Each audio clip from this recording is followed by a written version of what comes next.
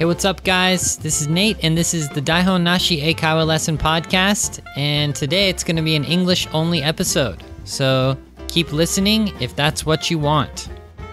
As always, for announcements, please follow us on Twitter, Facebook, and YouTube and Instagram. So, Twitter, that's the place where you can use the hashtag Daihon Nashi Eikaiwa Lesson. And we're always checking that hashtag. You can comment, make a request, talk about the episode of that week. Uh, you can see other people's pictures and comments. So check that hashtag on Twitter. Don't forget about that. And also follow us on the Daihon Nashi Eikaiwa Lesson Twitter. And also there's the Facebook. So on Facebook, that's me. That's going to be all English. So follow follow us on the Daihon Nashi Facebook page as well.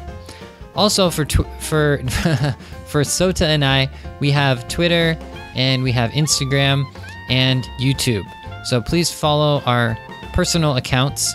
Uh, Sota is Eigo no Sota, and I'm Nate Sensei on Twitter and also on Instagram and YouTube. So please check those out. Recently, well, we went to do the speed learning collaboration. Yay, that was so fun. So check out all of the episodes. I posted them on Facebook recently, but basically it's Sota's YouTube collaboration with Speed Learning and Speed Learning's collaboration podcast and our last podcast, episode 70. So if you like those, please comment um, and also please post on uh, social media about what you thought about that collaboration. That was really fun. All right, so let's get started with this episode for today.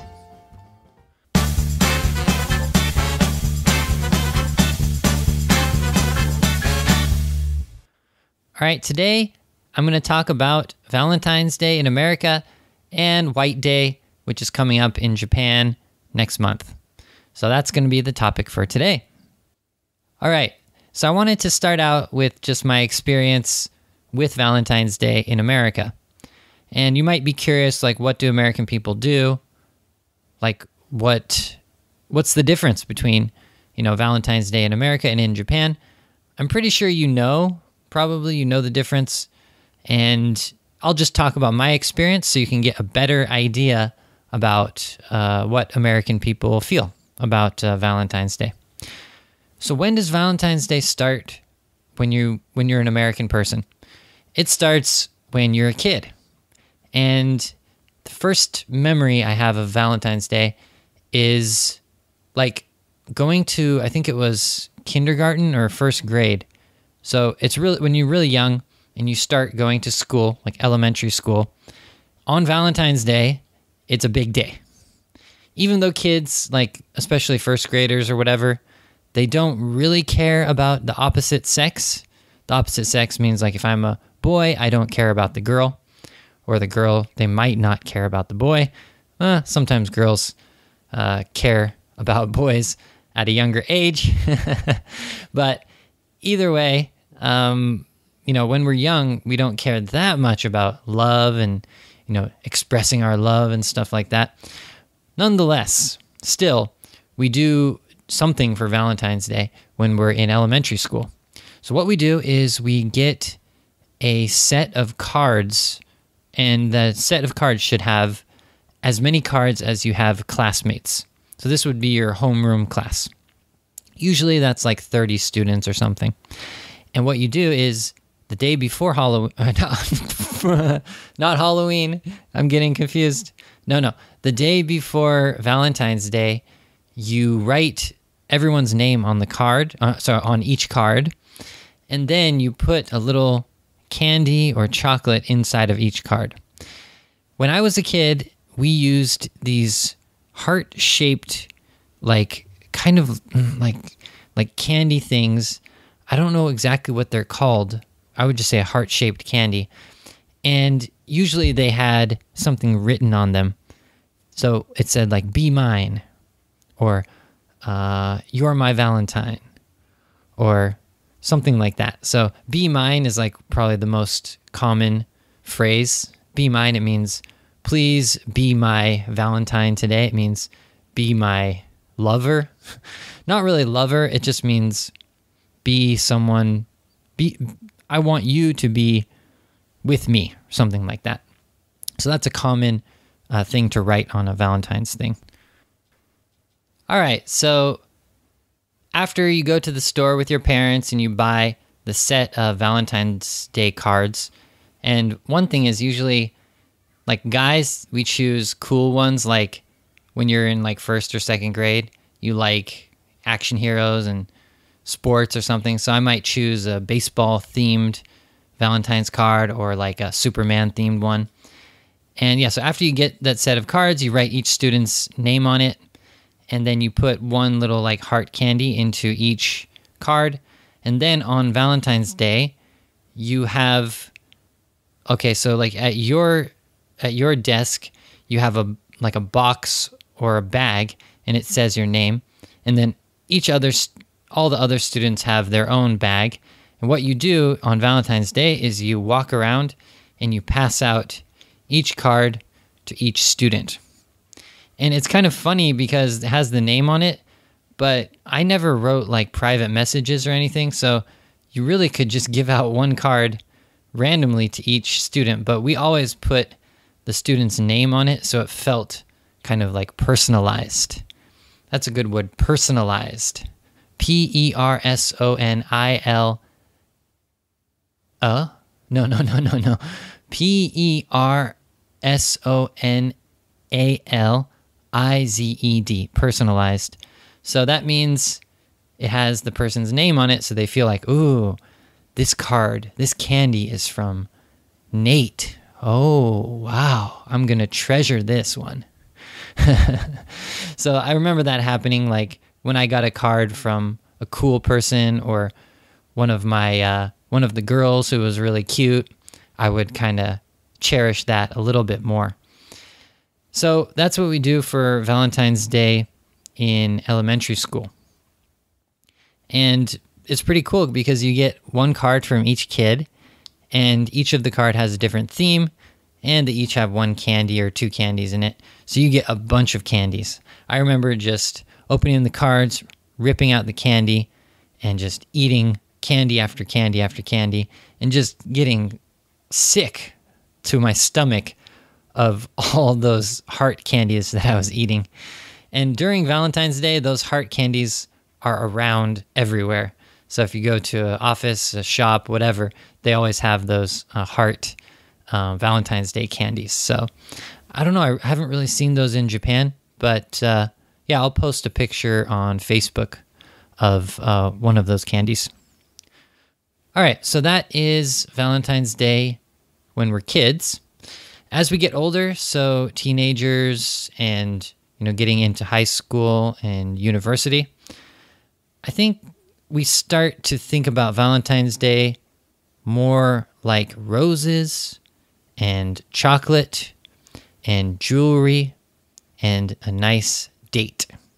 So, those are the things that come to mind when I think about Valentine's Day as a more like a for a date type of thing, for a lover, for a girlfriend, boyfriend, um, partner, whatever have you. It's usually focused on those things. So, if it's just like you just met someone and you don't really know them that well, probably just going on a nice date and maybe exchanging some type of flowers or something like that. And actually, not exactly exchanging. Um, I don't think girls need to get guys anything for Valentine's Day. That's my opinion. It might be different for other people. But in my opinion, uh, guys should definitely get girls something. And I, I mean, girls like women, and guys are like men, right? So, yeah, I mean, at least get flowers or something that shows that you were thinking about them. I think it's good if a girl got a guy something cool. Like, I don't know if flowers are the best idea for a guy. If a girl gave me flowers, I would be like, eh, I don't know what to do with these because I've never, I don't know how to keep flowers. I don't know. I don't, I don't know. I can't really comment on that. I don't, I don't really uh, like flowers very much, but I do like the idea of a guy giving a girl flowers. So I think that's something that's super popular for American people when we are older. And of course, roses are probably the way to go if it's for someone that you like, a real Valentine. As for my experience, well, when I was in junior high school and high school, I didn't really have a girlfriend actually. So I didn't have a chance to go on like a romantic date or give girls flowers or something. I, I can remember some of my friends doing that, but I always avoided it, luckily. so um, I kind of stayed away from Valentine's Day in my uh, younger years. The only thing I could remember is like, I think it was in sixth grade in elementary school. I kind of had a girlfriend for like a couple weeks. And during that time was Valentine's Day. So uh, me and my friend were thinking about, because uh, my friend uh, was actually dating my girlfriend's friend. It was kind of a, a weird kind of connection, but this was, it's hard to explain, but basically, I was only kind of dating this girl in sixth grade in elementary school for a few weeks, but during those during that time Valentine's Day came, so we had to think about like what to give them. So I think we checked like how to buy flowers and or like should we buy jewelry or something. So yeah, I think those are the choices: jewelry, flowers, or I guess chocolates are the pretty basic one as well. That's a pretty random story. I just remembered that when I was in sixth grade, I had to buy uh, my short term girlfriend, I think it was flowers. I can't remember what I actually bought for her. I think my friend, he bought his girlfriend a ring. I think it was. So that was really expensive for a sixth sixth grader in elementary school. For me, I wasn't dating her for that long. So I didn't get her a nice ring. I just got her uh, some flowers, I think.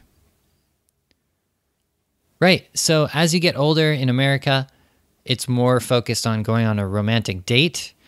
Um, I can remember, like in my hometown, there's a beach. So I remember me and my friend were driving together on Valentine's Day, and we saw some romantic man had set up a table with like a tablecloth, chairs, bottle of wine. He had set that table up, I think it was on the beach or next to the beach, and he was having a romantic dinner with his girlfriend, maybe to show her how much he liked her on Valentine's Day. So that's the extreme kind of thing that American girls or women like is to get surprised, to do something exciting, go to a nice, cool restaurant, get something like a cute piece of jewelry or like a interesting flowers. So American women, at least when you're first dating, they expect that you'll do something fun and interesting like that. As for me, what I expected, nothing. I don't expect much on Valentine's Day. Luckily, um, I've had people give me like cookies, like home baked cookies, or some small presents like a razor or something like that, like for shaving. So I've had some small presents given to me, but you know, I don't have too much experience uh, with with Valentine's Day actually. So finally, let's get around to White Day. You know what? I think White Day in Japan is basically like Valentine's Day in America. What do you guys think? Because I know in Japan, like Valentine's Day is where women give men chocolate. So in America, we don't have that type of day. So we don't we don't have that. But we have kind of the opposite where especially men or boyfriends or you know men who are in a kind of romantic relationship they should give their um, partners flowers. Or as i said jewelry chocolate or go on a nice date together. So i think that's what japanese people do on white day kind of. Except you still have to or the men still have to give um, chocolate to the women who gave them chocolate on Valentine's Day. So we just don't have that tradition in America. At least in my experience, I've never I've never given chocolate to anyone who was just like a random coworker or like an acquaintance or something like that. I've only had to get something for a girlfriend or uh, a girl who I was interested in or something like that. And yeah, so I think in Japan, you just have this extra kind of tradition where you have to buy chocolates for female or male coworkers on uh, either Valentine's Day or White Day. But I'm not exactly sure, but I think White Day should be a little bit bigger, as in people go on more dates or people have more, like men give their wives or their girlfriends bigger presents. Like Valentine's Day in America. Is that true? You know what? I need to hear from you guys. I'm not exactly sure about that, but I would guess that's the case. As for what I know about Japan, it's that it's all about chocolate and it's all about on Valentine's Day, women giving men chocolate, and on White Day, men giving women chocolate. And it doesn't matter if it's a lover, boyfriend, girlfriend, husband or wife, or just a coworker, right? So it's kind of hard to imagine like giving a coworker chocolate on Valentine's Day, but it kind of comes back to when I was in elementary school. I gave everyone in my class a candy and a card. That's the same basically as in Japan, where except for it's split up male and female, whereas you know uh, the females give males the present on Valentine's Day and the males give the females present on White Day. It's just split up. But yeah, even in America, when I was in elementary school, we had to give everyone candy and a card. So that's kind of similar to in Japan, but it's just on one day, Valentine's Day. Final comment. So, what do I think about Valentine's Day? And what do I think about White Day in Japan? Well, I always joke, I say, I hate Valentine's Day. I have to get a present for for a girl, but they don't have to get a present for me. I hate it. But truthfully, it's not that bad. I think it's actually kind of fun to do something like go on a date or, you know, at least surprise a girlfriend or wife or a partner. So it's actually a good chance to have a kind of spark in the relationship. So when I was younger, I would say I hate Valentine's Day, but now I'm like, meh, it's not so bad.